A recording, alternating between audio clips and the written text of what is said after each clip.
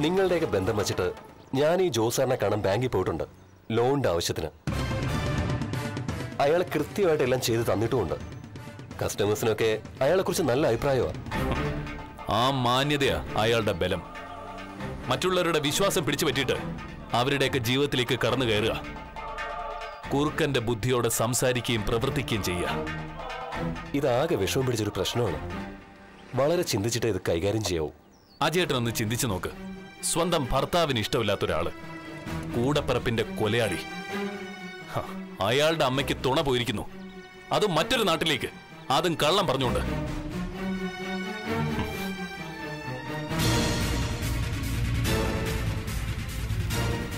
ഇങ്ങനൊരു സാഹചര്യത്തിൽ അജയേട്ടനാണെങ്കിൽ അജയേട്ടന്റെ ഭാര്യയെ കൂടെ നിർത്തുമോ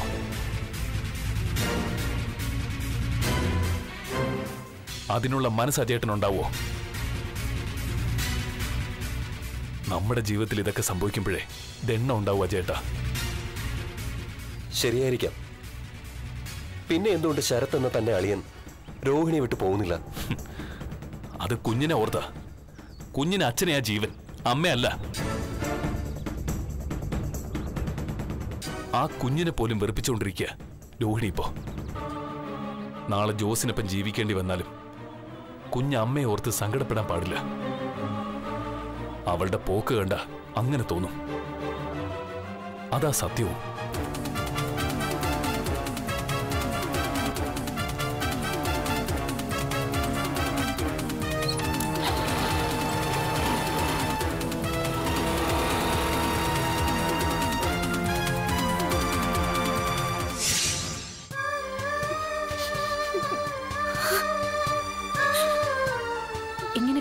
ടീച്ചറെ അധ്യാപകരോ കുട്ടികളോ കണ്ട മോശ.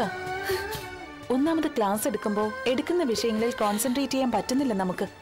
അതിന്റെ പേരിൽ പരാതി ഒരുപാടാ. അതിന്റെ കൂടെ വീട്ടിലെ പ്രശ്നങ്ങൾ പറഞ്ഞ് ഇങ്ങനെ സങ്കടപ്പെടല്ലേ? അമ്മച്ചിക്കൊപ്പം ഉണ്ടായിരുന്നപ്പോ കുറച്ച് മനസമാധാനം കിട്ടിയത്. നരനെയായിരുന്നു ഇന്ന് ഭയന്നിരുന്നത്. എന്നാ ഇപ്പോ ഏത് പാതിരാത്രിക്കും വിശ്വസിക്കാം നരന്? ഒട്ടും പറ്റാത്തത് അവനെയാ? പിടിക്കപ്പെടുമെന്ന് ഉറപ്പുള്ളതുകൊണ്ട് കള്ളങ്ങൾ പറഞ്ഞു വരിഞ്ഞു മുറുക്കുന്നു അവൻ. വെട്ടിക്കൊല്ലാൻ എനിക്ക് തോന്നുന്നു. എന്റെ മോളെ കൊണ്ടുപോലെ പോലും അവൻ പറയിപ്പിക്കുന്നു. അമ്മ ചീത്തയാണെന്ന്. ആ മുസ്ലിം പെൺകുട്ടി എത്രയും പെട്ടെന്ന് സത്യങ്ങൾ അറിയണ്ടേ? അറിയണം. അല്ലെങ്കിൽ അവളെ മുതലാക്കി അവൻ രക്ഷപ്പെടും. അതിനുള്ള സാഹചര്യം നമ്മളായിട്ട് ഒരുക്കരുത്.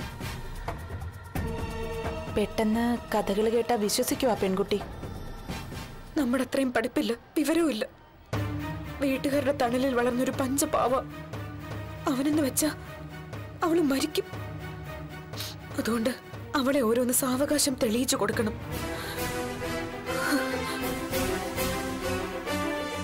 ടീച്ചറിനറിയാലോ? ശരത്തിനെ കുറിച്ച് ടീച്ചർ പറഞ്ഞപ്പോ ടീച്ചറിനെ ഞാൻ കുറ്റപ്പെടുത്തി.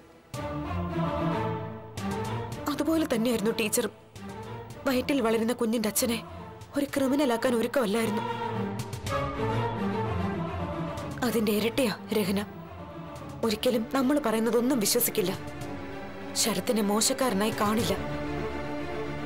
അതുകൊണ്ട് ചെറിയ ചെറിയ സംശയങ്ങൾ തീപ്പൊരികൾ അവളുടെ ഉള്ളിലേക്ക് ഇട്ടുകൊടുക്കണം എന്നിട്ട് വേണം കാര്യങ്ങൾ വ്യക്തമാക്കാൻ. അവളുടെ ഉമ്മൂമ്മയെ പറ്റി ഞാൻ പറഞ്ഞിട്ടുണ്ടല്ലോ. കഥകളൊക്കെ പറഞ്ഞു കഴിഞ്ഞാൽ അവർ ചൂണ്ടുവിരലുകൊണ്ട് അവസാനിപ്പിക്കും അവന്റെ ജീവിതം. ഇന്ന് അങ്ങനെയല്ല അവൻ മരിക്കേണ്ടത്. തല്ലിച്ചതയ്ക്കണോ അവനെ? എന്നിട്ട് ജയിലിനകത്ത് കിടന്ന് നരകിക്കണം. ഇത്തരക്കാര് പെട്ടെന്ന് മരിക്കുന്നതാ ടീച്ചറെ നല്ലത്. ജയിലിനകത്ത് കിടന്നാലും ഇടയ്ക്ക് പുറത്തു വരാനുള്ള അവസരം ഉണ്ടാവുമല്ലോ. ആ അവസരം മുതലെടുത്ത് ഇവനൊക്കെ കണക്ക് തീർക്കേണ്ടവരോടൊക്കെ തീർക്കും. അതുകൊണ്ട് ഇവനൊക്കെ ജീവിക്കുന്നതല്ല. നാളെ എങ്കിൽ നാളെ മരിക്കുന്നതാ നല്ലത്.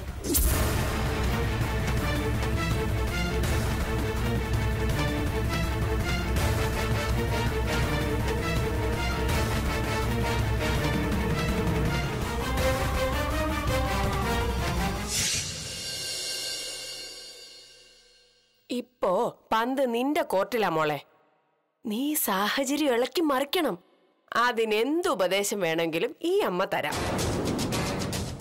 നമ്മൾ ആരും ഒന്നും ചെയ്യേണ്ട കാര്യമില്ല അമ്മേ പത്തല്ല പതിനഞ്ച് തലയാ ശരത്തേടിന് പിന്നെ നമ്മളൊന്ന് കൂടെ നിന്നോടത്താ മാത്രം മതി. അവൻ ഉള്ളത് കൊണ്ടാ നന്ദനും അവന്റെ അമ്മയും നിന്നെ കുറച്ചെങ്കിലും സ്നേഹിക്കുന്നത്. അതിന്റെ നന്ദി നീ കാണിക്കണം. അവൻ എവിടെങ്കിലും ഒന്ന് പതറിയ നീ അവനെ പിന്താങ്ങിക്കോണം. അതൊക്കെ ഞാൻ ചെയ്യുന്നുണ്ട്. പിന്നെ എന്റെ വാക്കുകൾ നന്ദേട്ടൻ പൂർണമായും വിശ്വസിക്കുന്നില്ല. അതുകൊണ്ട് സംശയം തോന്നാത്ത രീതിയിൽ വേണം സപ്പോർട്ട് ചെയ്യാൻ. ഒരു കാലം ജയിലിൽ നിന്ന് വരാനിരിക്കുക പോരാത്തതിന് നിന്റെ ആങ്ങളെന്ന് പറഞ്ഞ വേറൊരു കാലൻ മറുകണ്ടം ചാടുകയും ചെയ്തു. അതുകൊണ്ടൊന്നും ഒരു പ്രയോജനം ഇല്ല. പിന്നെ ജോസോ വാക്കത്തി നരനോ ശരത്തേട്ടനെ തട്ടു എന്നുള്ള കാര്യമാ എനിക്കിപ്പോ സംശയം. ശരത്തേട്ടനെ മാത്രമല്ല നിന്നെയും തട്ടാനുള്ള സാധ്യതയുണ്ട് മോളെ. വലിയ കരുന്നോക്കാ എടുത്ത് വളക്കില്ലേ ഞാനും മരണഭയത്തിലാ കഴിയുന്നത്. ഒരാളുണ്ട് അവിടെ വയസ്സാങ്കാലത്ത് വാൽ മുളച്ചവൻ. ഓ ഒരു കാലത്ത് എന്റെ അടിമയായിട്ട് ജീവിച്ചതിന്റെ കുത്തൽ മുഴുവൻ ഇപ്പൊ തീർത്തോണ്ടിരിക്കുക പോരാത്തതിന് വാക്കത്തി നരനെന്ന് ഓട്ടോക്കാരനും എന്നെ കൊന്നാ കൊള്ളാവുന്നുണ്ട്. അതുകൊണ്ടാ പറഞ്ഞത്. ഒരു പരുവത്തിൽ അങ്ങ് പോവാൻ. ജീവിക്കാൻ സമ്മതിച്ചില്ലെങ്കിൽ അച്ഛനാ മോനാന്നൊന്നും ഞാൻ നോക്കത്തില്ല. വേഷം കൊടുത്ത് കൊല്ലും രണ്ടിനെയും ഹാ ഇനിയിപ്പം നമുക്ക് ജീവിക്കാൻ വയ്യാതായ. അത് തന്നെ അമ്മ നല്ലത്. നമ്മുടെ ഭാവി ഇരുട്ടിലാക്കുന്നവരെ അങ്ങ് കൊല്ലണം. ഇപ്പൊ ഏതായാലും ഞാനുണ്ടാക്കുന്ന ഭക്ഷണം എല്ലാരും രുചിയോടെ കഴിക്കുന്നുണ്ട്. എന്റെ നില പരിങ്ങലിലായ. ഒരു ദിവസം ഞാനങ്ങ് വിഷം വിളമ്പും. ഏയ് അതിന്റെ ഒന്നും ആവശ്യം വരത്തില്ല മോളെ. അനിയത്തിയെ കൊന്നവന്റെ പിന്നാലെ കറങ്ങുന്ന പെങ്ങളെ മിക്കവാറും നന്ദൻ ഉടനെ പുറത്താക്കും. അതിന്റെ പിന്നാലെ ജോസിനെ കൊല്ലുകയും കൂടെ ചെയ്ത നന്ദന്റെ ശല്യവും തീരും. അവൻ പിന്നെ ജയിലിലാ. ഹാ അത് കഴിഞ്ഞാ പിന്നെ നിനക്ക് ഇവിടെ സുഖ താമസം സുഖ പ്രസവവും സുഖ ജീവിതവും. മൊത്തത്തിൽ സുഖം സുഖകരം.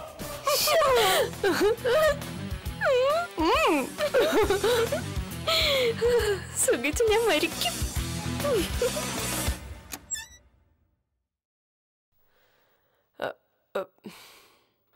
എവിടെ പോരും നിങ്ങൾ? ആങ്ങളെ അച്ഛനും എന്റെ മോളെ തള്ളിക്കളഞ്ഞല്ലോ. പിന്നെ ഞാനെങ്കിലും ഇടയ്ക്ക് പോയി അവളുടെ കാര്യങ്ങളൊക്കെ ഒന്ന് അന്വേഷിക്കണ്ടേ? വേണ്ട. നിങ്ങളടുത്ത് പല ആവർത്തി ഞാൻ പറഞ്ഞതാ. നന്നല്ല വീട്ടിലോട്ട് പോരുതെന്ന്.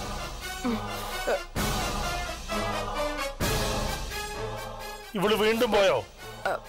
അല്ല അത് അവൾ പിന്നെ അമ്മയെ കാണണമെന്ന് വിളിച്ചു പറഞ്ഞാ പിന്നെ പോണ്ടേ? പോണ്ട. വൃന്ദാവനത്തിലുള്ളവരെ നിന്റെ മോളെ ചവിട്ടി തൂക്കാനൊന്നും പോണില്ല. പിന്നെ എന്തിനാണ് നീ അങ്ങോട്ട് പോകുന്നത്? ശരിക്കും പറഞ്ഞ ഈ വീടിന്റെ അകത്തിരുന്ന് പുകയാ ഞാൻ. ഒന്നിനും ഒരു സ്വാതന്ത്ര്യമില്ല അങ്ങ് ഭരണവാ. അച്ഛന്റെ മോന്റെ മടുത്തു ഞാൻ. എല്ലാം കേട്ടോളാം. അനുസരിച്ചോളാം. എന്റെ മോളെ കാണാൻ പോകരുതെന്ന് മാത്രം പറഞ്ഞേക്കരുത്. ഇപ്പൊ ആകെയുള്ള ഒരു ആശ്വാസം അത് മാത്രം. അതും കൂടി ഇല്ലാതാക്കരുത്. രണ്ടാളും കൂടി. നീ അവിടേക്ക് പോയിട്ടുണ്ടെങ്കിൽ അവിടെ ഇന്നൊരു പൊട്ടിത്തെറി ഉറപ്പാ. അതുപോലെ എന്തെങ്കിലുമൊക്കെ ഉപദേശിച്ചു കൊടുത്തിട്ടേ നീ അവിടെ ഇങ്ങോട്ട് വരത്തുള്ളൂ. ഓ ഞാനൊന്നും പറഞ്ഞിട്ടില്ല. അടങ്ങി ഒതുങ്ങി നിക്കണമെന്ന് മാത്രം ഉപദേശിച്ചിട്ടുള്ളൂ. നീ ഉപദേശിച്ച കാര്യമൊന്നും പറയണ്ട. രണ്ട് വിഷപ്പാമ്പുകൾ അവിടെയുണ്ട്. അതിന്റെ കൂടെ ഒരു കരിമൂർക്കനും കൂടെ ചെന്ന്. പാവപ്പെട്ട രോഹിണിയായിട്ട് വട്ടം കിടക്കുക അത് അമ്മയ്ക്ക് മോഹം നന്നായിരിക്കൂല. പറഞ്ഞേക്കാം. അതിനെതിരെ നന്ദം പ്രതികരിക്കൂല. അങ്ങനെ അവന്റെ കണ്ണ് കെട്ടി കെട്ടിക്കഴിഞ്ഞു. എന്നാ അമ്മയ്ക്ക് മോക്കും ഇനി പ്രശ്നം. ഞാൻ തന്നെ ആയിരിക്കും. ഇനി എനിക്ക് നിങ്ങളുടെ മോൾ നയനയല്ല പെങ്ങൾ. രോഹിണി തന്നെയാ. അതുകൊണ്ട് രോഹിണിയുടെ കണ്ണിൽ നിന്ന് കണ്ണീര് പൊടിഞ്ഞ. അതിന് നിങ്ങളും നിങ്ങളെ മോളിൽ നിമിത്തമായ കരയേണ്ടി വരും ഒരുപാട്. അതിനുള്ള അവസരം ഞാൻ തന്നെ ഉണ്ടാക്കും.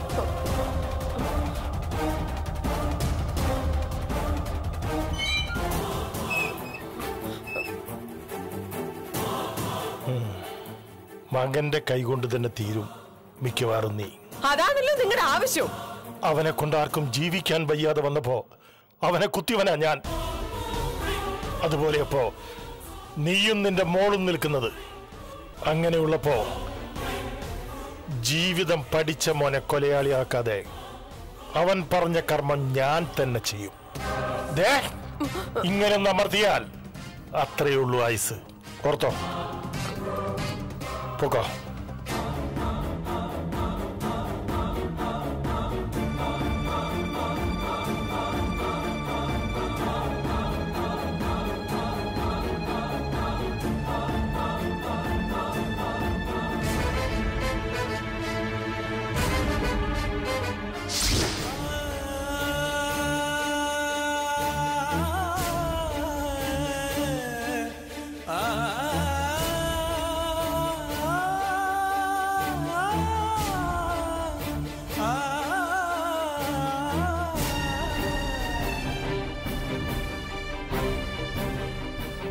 അച്ഛാ.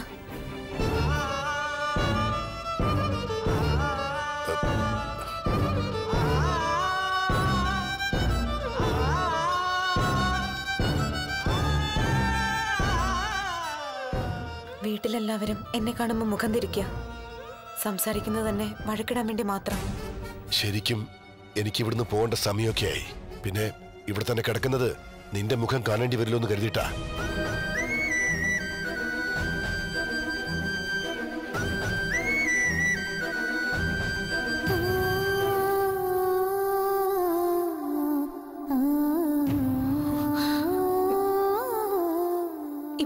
അച്ഛന്റെ മോൾ ഒരു തെറ്റും ചെയ്തിട്ടില്ല അച്ഛാ അതിങ്ങനെ ആവർത്തിക്കേണ്ട കാര്യമില്ല. നീ എന്താണെന്ന് എനിക്കറിയാം. നല്ലവനായ മരുമകനെ മകൾ അംഗീകരിക്കാതെ വരുമ്പോ ആ മകളെ തള്ളിക്കളയണം. അങ്ങനെയാ വേണ്ടത്. നല്ലവനല്ല അച്ഛ അച്ഛന്റെ മരുമകൻ. പറയടി. ഇനിയും അങ്ങനെ തന്നെ പറ. ആ അഡ്വക്കേറ്റ് വസുന്ധര എന്നെ വിളിച്ചിരുന്നു വിശ്വട്ട. ഇവൾ അവരെ കാണാൻ പോയിരുന്നെന്നും ജോസിനെ രക്ഷിക്കണമെന്നും യാചിക്കാൻ.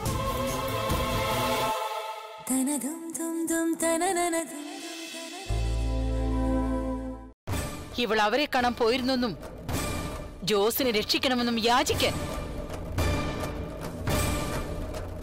എങ്ങനെയെങ്കിലും അവന് ജാമ്യം വാങ്ങി കൊടുക്കണമെന്ന് തെറ്റ് ചെയ്യാത്ത ഒരാൾക്ക് ജാമ്യം കിട്ടുന്നതിൽ എന്താ കുഴപ്പം? ആരടി? ആരെ തെറ്റിയാത്തേ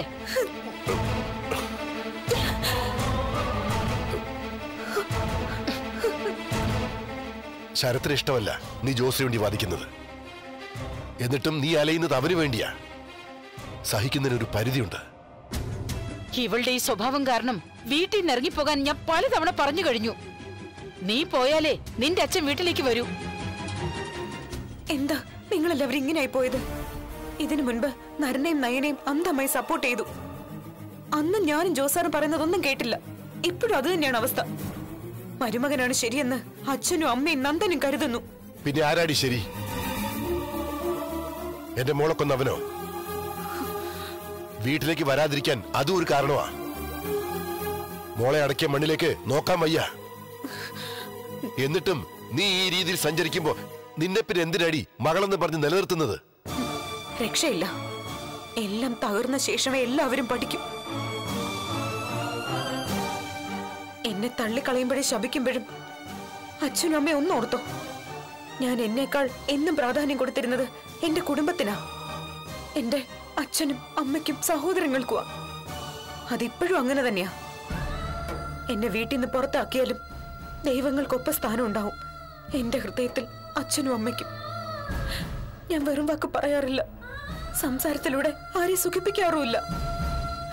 ആത്മാർത്ഥമായിട്ട് പറയുന്നത് തള്ളിക്കളഞ്ഞ് അനുഭവിക്കും നിങ്ങൾ. പിന്നീട് എനിക്ക് പ്രിയപ്പെട്ടവർ കരയുന്നത് കാണേണ്ടി വരും എനിക്ക്. അത് ഒഴിവാക്കാനാ ഞാനിങ്ങനെ അലഞ്ഞു നടക്കുന്നത്. അല്ലാതെ ജാമ്യത്തിൽ ഇറങ്ങുന്ന ജോസാറുമായി ബന്ധം കൂടാനല്ല.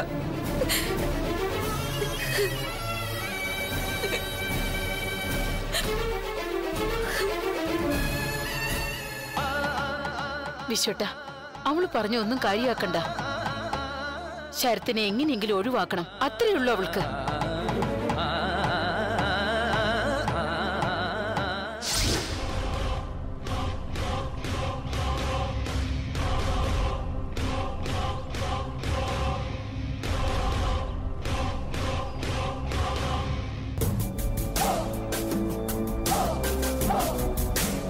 Go!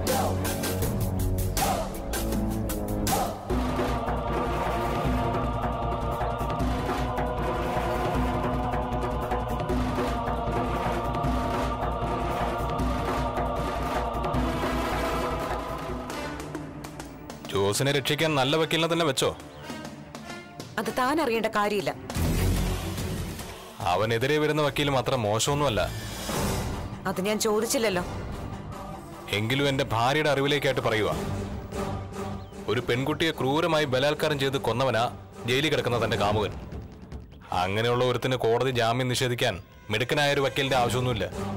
സാധാരണക്കാരനായ ഒരാളായാലും അത് സംഭവിക്കും. അങ്ങനെ ജോസാറിന് ജാമ്യം കിട്ടാതാവുമ്പോ യഥാർത്ഥ പ്രതി എത്രമാത്രം സന്തോഷിക്കുമെന്ന് എനിക്ക് നന്നായിട്ട് അറിയാം. ജോസാറിന് ജാമ്യം കിട്ടിയ അയാൾ എത്രമാത്രം ഭയക്കുമെന്നും. അദ്ദേഹം പുറത്തിറങ്ങിയാൽ മിക്കവാറും യഥാർത്ഥ കൊലയാളിയെ പിന്നെ നിയമത്തിന് മുൻപിൽ കൊണ്ടുവരാൻ ശ്രമിക്കാതെ സ്വയം വിധി നടപ്പാക്കും. അത് മരണത്തിൽ കുറഞ്ഞൊന്നാവാൻ വഴിയില്ല.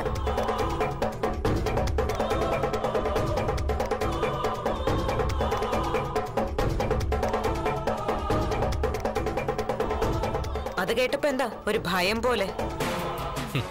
എനിക്കൊരു ഭയവുമില്ല. പിന്നെ നിർഭാഗ്യവശാൽ അവന് ജാമ്യം കിട്ടിയാൽ അവനെ കൊല്ലാൻ പുറത്ത് ആളുണ്ട്. അതിന് മുന്നിൽ നിൽക്കും നിന്റെ ആങ്ങള. അറിയാം. എന്തായാലും അതിനുള്ള സാഹചര്യം ഞാൻ ഉണ്ടാക്കില്ല. ജോസാർ പുറത്തു വന്നാൽ അദ്ദേഹത്തിനൊപ്പം നന്ദനും ഉണ്ടാവും. നിന്നെ കൊല്ലാൻ.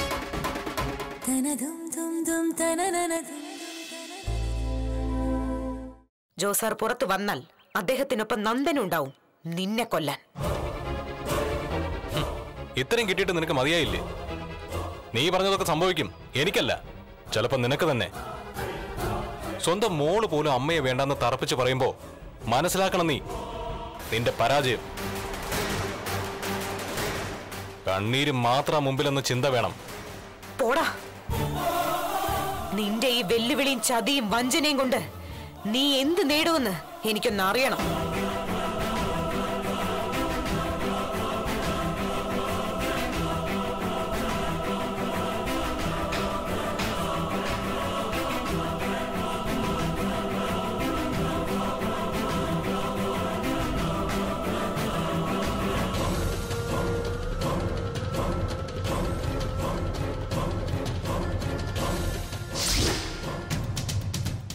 കണക്കിന് അവൾ അങ്ങനെ ചെയ്യുന്നത് നന്നായി മോളെ. മിക്കവാറും വൈകാതെ അവക്ക് ആ വീട്ടിൽ നിന്ന് പുറത്തു പോവേണ്ടി വരും. അതോടെ നിനക്ക് ഭരണം തുടങ്ങാം. പിടിമുറുക്കാം അതിനാ ഞാനും ശ്രമിക്കുന്നത് അവൾ ഏതാണ്ട് മനസ്സ് മടുത്ത അവസ്ഥയില്ല സ്വന്തം മോൾ കൂടി തള്ളി പറഞ്ഞതോടെ വീട് വിട്ട് പോണോന്ന് പോലും അവൾ ചിന്തിക്കുന്നുണ്ടാവും. പോട്ടെ. അവൾ ആ അമ്മച്ചിയുടെ വീട്ടിൽ പോയി താമസിക്കട്ടെ. ജോസിനോടല്ലേ കൂറ്? അപ്പൊ പിന്നെ അവൾ ആ വീട്ടിലെ മരുമോളാകുന്നതല്ലേ നല്ലത്? അതെ സംശയമൊന്നും വേണ്ട. അങ്ങനെ തന്നെ സംഭവിക്കും. ഇത്രയും നാൾ സ്വന്തം ഭർത്താവ് മടങ്ങി വരും എന്ന ധാരണയിൽ ജോസ് സാറിനോട് നീതി പുലർത്തിയില്ല രോഹിണി. എന്നാൽ ഇനി ജയിലിൽ നിന്ന് മടങ്ങി വന്നാൽ മറ്റുള്ളവർ ജയിൽ പുള്ളി എന്നും കൊലപാതകി എന്നും പറഞ്ഞ് ആക്ഷേപിക്കുമ്പോഴും രോഹിണി ജോസ് സാറിനോടൊപ്പം ജീവിച്ചെന്ന് വരും. സ്വന്തം മോളെ കളഞ്ഞിട്ട് അങ്ങനെ ജീവിക്കാൻ അവൾക്ക് എങ്ങനെ തോന്നുന്നു എന്തോ? ഇതൊക്കെ ഏത് കുലത്തിൽ പറഞ്ഞതാണോ എന്തോ? എന്റെ നോട്ടത്തിൽ കുലമഹിമയുള്ള ഒരേ ഒരു പെണ്ണേ ഉള്ളൂ. അതെ എന്റെ ഭാര്യയുടെ വൃത്തികെട്ട വയറ്റി പിറന്ന മോള. ഒന്നും പറയണ്ട മോളെ. പറഞ്ഞാ തല്ലി കലി തീർക്കും. അങ്ങനെ ആയിപ്പോയി. നീ എന്തിനാടി ഇങ്ങോട്ട് വരുന്നേ? ആ? നന്ദൻ പറഞ്ഞിട്ടില്ലേ നിന്നോട്? നിന്റെ അമ്മയെ വന്ന് കാണരുതെന്ന്. എന്ന് കരുതി മക്കൾക്ക് അമ്മമാരെ മറക്കാൻ പറ്റുമോ? ഇതുപോലെയുള്ള അമ്മമാരെ മറക്കുന്നതിൽ യാതൊരു തെറ്റുമില്ല. നീ വാടി മോളെ. നിനക്ക് എന്തെങ്കിലും ഇഷ്ടപ്പെട്ടത് ഉണ്ടാക്കി തരാം. ഏയ് വേണ്ട. അടുക്കളയിൽ നിന്ന് പാചകം ചെയ്യുന്ന അമ്മ മകളുടെ ചെവിയിൽ ഓതിത്തരുന്നതൊക്കെ മുടിയാനുള്ള മന്ത്രങ്ങളായിരിക്കും. അതുകൊണ്ട് ഇവിടെ നിന്നിട്ടുള്ള സംസാരം മതി. അല്ലെങ്കിലും എനിക്കൊന്നും വേണ്ട. ഓ. ഞാനങ്ങ് പൊയ്ക്കോളാം. ആയിക്കോട്ടെ. അയ്യോ എന്നാലും ഒരു കുഞ്ഞിനെ വയറ്റി പേർന്ന മോളോട് ഇത്തിരി കരുണ കാണിച്ചൂടെ നിങ്ങക്ക് കരുണ കാണിക്കാൻ മനസ്സുള്ളവരാ മടിയില്ലാത്തവരാ. ഇവളുടെ ഭർത്താവും വീട്ടുകാരും. അതുകൊണ്ട് അവരെ അങ്ങ് സ്നേഹിച്ചാ മതി. ഓ ശരി. ഞാനങ്ങ് പോവാമേ ഒരു ഉപദേശം വന്നിരിക്കുന്നു. ദേ സ്വന്തം മോളോട് കാണിക്കുന്ന ക്രൂരതയ്ക്ക് നിങ്ങൾ അനുഭവിക്കും മനുഷ്യ. അനുഭവിക്കുമ്പോഴേ നീ പങ്കു പറ്റാൻ വരണ്ട. ഇവിടേക്ക് ഇനിയും അവൾ വന്നാൽ ഇതുപോലെ ആയിരിക്കും എന്റെ പ്രതികരണം. മനസ്സിലാക്കിയോ